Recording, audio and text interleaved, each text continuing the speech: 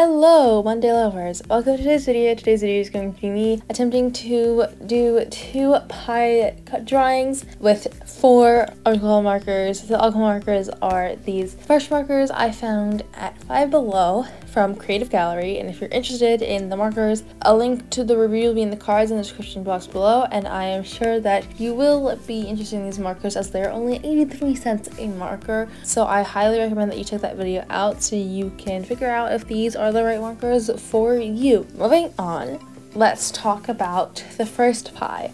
So the first pie I drew was a pie that's kind of like a side view and it is and it has like kind of like holes on the top and if you are interested in drawing along with me then I'll link a reference photo in the description box below. So these are probably pecan pies or chocolate pies but what's your favorite pie? Let me know in the description box below. Or what are you even doing for Thanksgiving this year? I mean Thanksgiving this year is going to be so different, right? Because you can't go to your family's house and have this big gathering with all these people in a COVID situation. So, what are you guys planning to do? Are you going to do a Zoom meeting? Are you guys going to like send each other food? What are you guys planning on doing? And just let me know in the comments below. So I am pretty much drawing this with a pencil and then I use a Tombow Nosuke hard tip brush pen to kind of outline it because I felt like it just added that little like extra artsy kind of feel to it, that like cozy kind of feel to it to have that like slightly varying line thickness, like it wasn't so much, but it was still there because I was using the hard tip and it feels kind of like it's still a brush pen but it's like super hard so I really really liked how that looked. Okay so now to color in the pie. So I apologize for the watermark that says InShot on it. I do use InShot to edit my videos and no I do not have the premium version of it. So there is a watermark on it and on this one for some reason it is in the middle of the video instead of like on the corner of the video. I'm not entirely sure why. So um, I am sorry for that. It's not on here for the entire video. But let's talk about coloring in the pie. So because I was limiting myself to two markers, two like shades of brown for the pie, I really had to make use of layering. So the first thing I did is I just kind of used this light color to kind of just cut, create a base layer with the brush tip and then I started layering on a few times with the same color to kind of get like the shadow of it. I'm not a very good at shading. It's just not a strong suit of mine. If you guys are good at shading, please let me know how what you would do it, how you know how, where to shade and how to shade honestly those tips would be super helpful for me. Um, but in this picture I did shade and I'm actually kind of happy with the shading of this picture. It ended up looking really nice. Um, and I kind of used the same brown multiple times and it looked very abrupt right now but it ends up looking pretty nice because I end up using the pen to kind of blend the layers together if that makes sense? Does that make sense?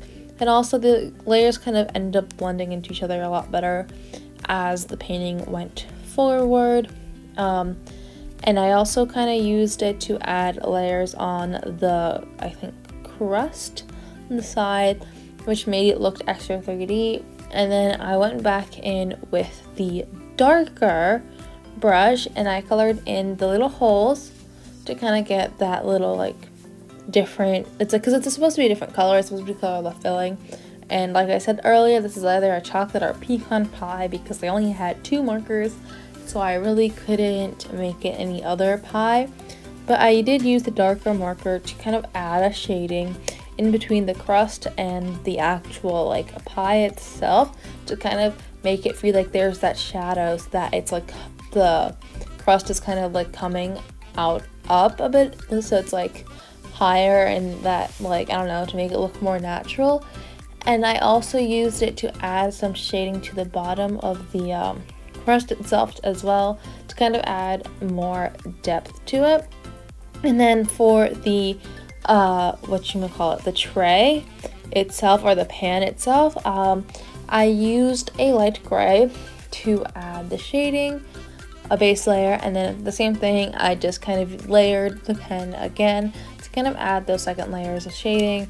And then I used the darker gray to kind of color in the lines, like the little indents on the pen, as well as add a shadow right beneath the pen itself and on the bottom and around the pen just to create that extra level of depth. I really didn't use it that much. Also, for the base layer on my pan, I used the chisel tip because in my experience, the chisel tip comes off a lot lighter than the brush tip. So, and also it's a lot easier for larger areas, but for the blending and layering, I did use the the um, the brush tip as well. Um, I did use the chisel tip for layering a little bit, but not as much. So I did use both tips, but I prefer using the brush tip over the chisel tip, but the chisel tip does provide kind of like a lighter color in my opinion. So that was how I colored in the first pie. The last thing I did to kind of give it that finished look is cut out the pie. And this is the end result. So now on to the second pie I'm drawing. So this pie is kind of like a overhead view of the pie. So it is going to also have like a different kind of pattern on the top. The first one was kind of one with little tiny holes on top. This is the one where you kind of have like weaved together like slices of dough on top. So you can still see the filling in the inside. So uh, the first thing I did was I sketched this out and then I drew all the slices and then I erased the line kind of give it that like weaved kind of look so that everything kind of looked more natural and like actually weaved and then once again I used the Tombow Nosuke to kind of just outline everything. So for this pie, I used the brush tip to kind of color in the outside because it was kind of like less of a like simple shape so it was nicer to have that brush tip to kind of get that like kind of inside of the lines and then with using the um, chisel tip I kind of just you know, colored in the inside lines to get that like lighter color. For some of them I used the brush tip, but I was not happy with how dark that was. So I guess it kind of makes it more uneven because it kind of makes it look like some of them were cooked more. But I had the other colors, so I was like, why wouldn't I just use it and make the painting or drawing that much better? So there's that and I really think that this was a fun exercise. I definitely enjoyed doing it. It like helped me kind of like come up with new ways to experiment with colors and just planning ahead because you know you had like I had to like plan what colors would go where and just like expanding and like making it easier for me to like figure out what colors go together and how to layer and all these things that like you know I might not have done with like multiple colors. But it definitely helps and I think that that's definitely a really good thing to do because then when you go into your bigger art projects or your more serious art projects with you know all of your colors then you have practiced using few of them and you have worked on several skills or if you are an artist who does not have every color of the rainbow, every single hue, every single shade, all that fun stuff. If you don't have all of that, then you know you don't have as many colors out there and this video may help you come up with some ideas to how to shade with fewer colors which is also good because I mean not everyone can buy a ton of different shades, especially with alcohol markers because they're relatively expensive. It's an expensive medium. So, yeah. And I really enjoyed coloring this. And another thing that I kind of experimented with was just blending colors. Like for the uh, I didn't think that the filling was dark enough, so I added dark gray and then brown on top to get a deeper brown so it looks more like chocolate or pecan or whatever you think this pie looks like to you. Let me know what you think this pie looks like in the comments below. But yeah, I think that this just looked like a normal chocolate or pecan pie. And so I kind of experimented with that as well, and I think that, that was a lot of fun.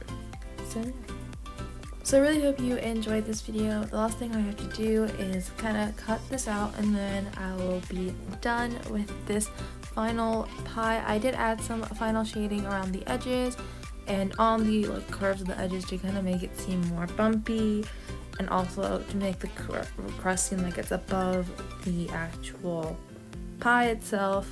But that's pretty much all I did. And that's pretty much it for today's video. I really hope you enjoyed this video. If you did enjoy this video, don't forget to hit that like button and subscribe. It really helps me out. And subscribe because I make new videos on calligraphy, art, and stationery every Monday. And hit the bell so you get notified every time I do and you don't miss any videos. And comment down below on what you thought of this pie. If you are going to watch that review video. It's linked in the cards and description. And if you are interested in drawing a pie like this, let me know how yours turns out in the comments below, as well as just how you thought this pie went and how it looked, considering that I only used two pens. And yeah, that's pretty much it. Thank you so much for watching. Remember to like, comment, and subscribe, hit the bell, and remember to have a happy Monday. Bye-bye.